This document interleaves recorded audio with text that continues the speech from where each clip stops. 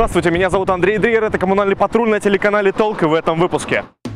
Лицо краевой столицы. Почему автомобилисты предпочитают объезжать главную улицу города, Ленинский проспект? И когда здесь начнут ремонт? Реформа на дому. Продолжаем рассказывать, как организовать раздельный сбор мусора в собственной квартире.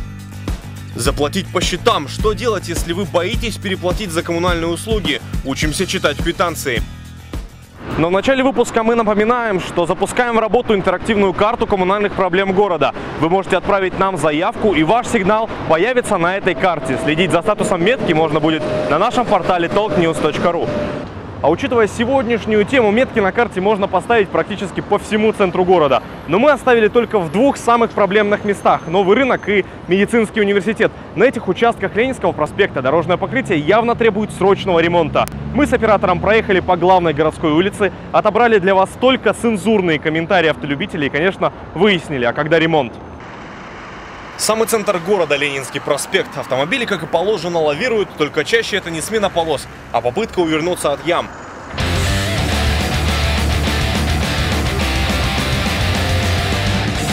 Ленинский проспект не самое проблемное место в городе, но прибавьте к этому сравнительно небольшого масштаба повреждений внушительный автомобильный трафик. Объезжая одну яму, найдете другие. Ну и объехать вряд ли дадут, получается простой выбор. Либо прямо по кочкам, либо нарушать правила. Мы спросили у водителей, что они об этом думают, и разделили ответы на две группы. В первой оказались те, которые идут по пути сравнения. Что вы думаете про качество дороги на Ленинском проспекте? Да сейчас нормальная вроде. Ну а вот э, проблемные места у Меда и у нового рынка. Я даже не припомню. Да, ну мне кажется, лучше дороги стали. Ну, я, наверное, может быть, именно точные какие-то не сказала. Ну, в общем, в целом пойдет получше, чем во многих других улицах. Ну просто в сравнении с другими. Естественно, естественно. Но вы по Малой Малахова ездили вообще?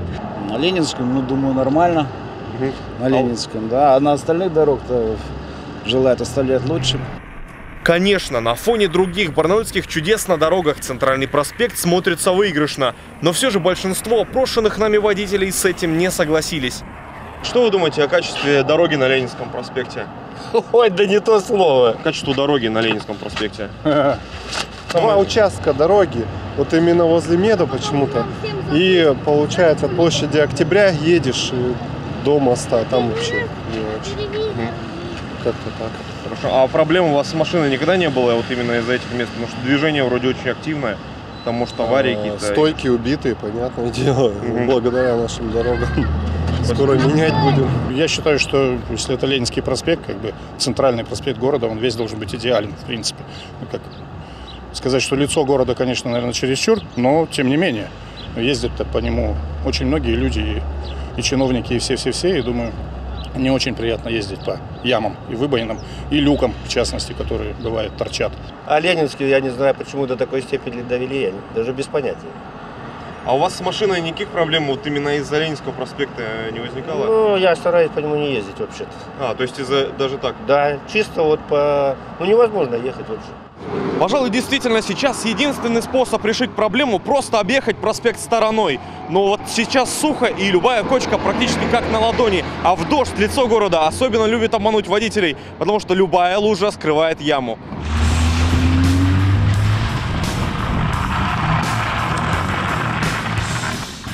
Лужи – беда не только для разбитых дорог, но и для нового асфальта.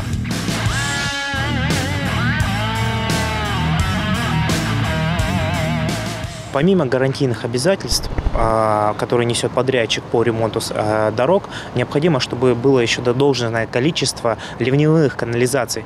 Э, Если таковое количество будет, а, то тогда вода не будет скапливаться на асфальте, и она не будет разрушать асфальт в более ускоренном порядке.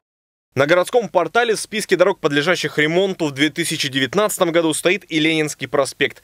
По плану работы будут вести от северо-западной до речного вокзала. Торги, на которых выберут подрядчика, пройдут 13 мая. Начальная сумма 190 миллионов рублей.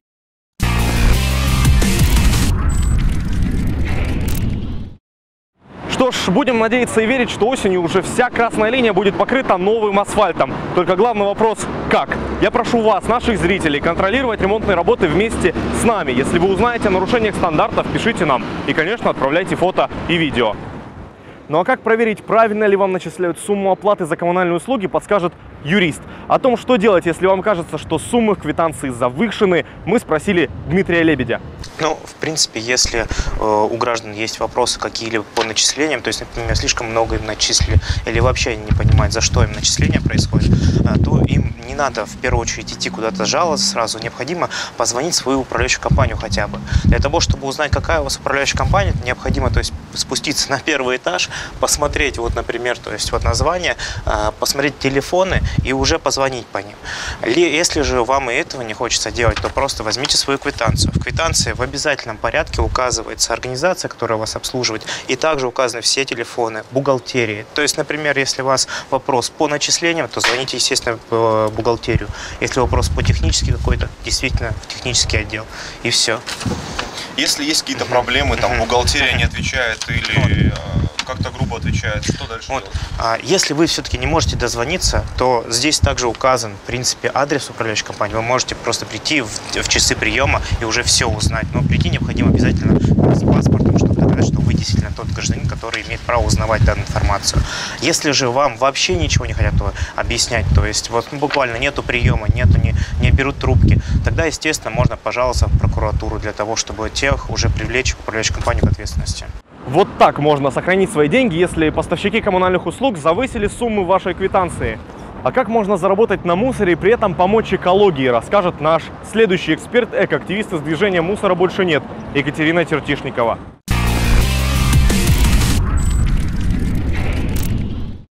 В прошлом выпуске мы с Екатериной говорили о том, как в домашних условиях можно сортировать пластик, а сейчас поговорим о стекле и о бумаге. Екатерина, расскажите, ну как дома можно сортировать самому стекло и бумагу для того, чтобы потом сдавать? Да очень легко. Просто, опять же, у нас есть два ведра, да, одно, что не перерабатывается, второе, где мы храним абсолютно все вторсырье, то есть это и пластик, и стекло, и металл. А не нужно заводить под каждую фракцию отдельно ну, какую-то емкость, можно просто хранить все в одном пакете, а перед акцией просто рассортировать за 10-15 минут и сдать. Бумага, что туда относится? Обычные газеты, э, бумажная э, обертка, то есть именно бумажная, потому что она тоже бывает еще там разная. А, Вот. а Затем глянцевые журналы у нас тоже принимаются в переработку. Весь рекламный спам, который по- по- попадает к вам в почтовые ящики, а, тоже можно не выбрасывать и сдавать в переработку. А, Единственный момент, э, бумага, она должна быть все-таки, опять же, без каких-то пластиковых вещей. Вот, например, а, вот такая бумага уже в переработку не пойдет. А, В предыдущем, да, в предыдущем выпуске мы говорили про тетрапак. Вот это, по сути, то же самое, только без алюминия. То есть вот такого вида материалы, они, к сожалению, у нас в Барнауле не перерабатываются. То есть здесь идет бумага с покрытием пластика. Стекло принимаем мы абсолютно любое, э, то есть любого цвета. А, По цветам у нас не требуют его пока разделять, то есть э, зеленые у вас бутылки, коричневые, банки стеклянные, даже бой. Просто нужно это завернуть, опять же, в какой-то э, мешок, либо упаковать тоже во что-то и бой, то есть разбитое стекло тоже можно сдавать на акции. Вообще органику, например, если мы берем, она у нас разлагается от э, двух недель до года максимум, то есть э, все наши очистки от овощей через год, э, они переработаются в полезные удобрения в земле.